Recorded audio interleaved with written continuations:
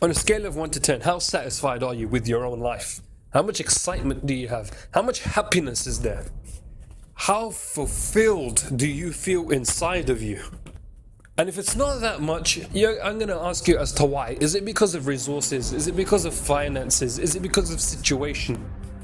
Now, you see, late in the news lately, Apple has been making breakthroughs with new products, right?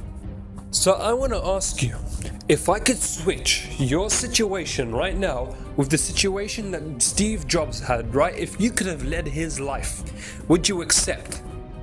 But then there's a catch, okay? You have to lead his life from the moment that he dropped out of college when he was a teenager.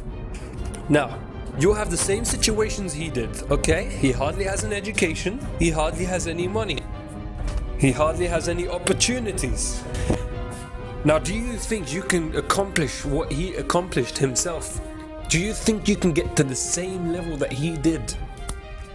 You see, and if you can truly answer yourself and if you can say no, then you're going to realize it's not the situations which are holding you back. It's your state of mind and it's your hard work and dedication.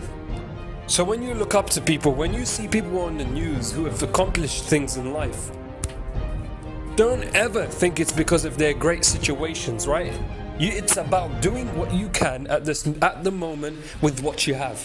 That is the principle of success. To do what you can with what you have where you are. And when you can engrave this into your day to day behavior, what happens is you're going to see improvements everywhere. No matter where you are, no matter what point in life you are at right now, you can make a change. And then you're going to feel more fulfilled.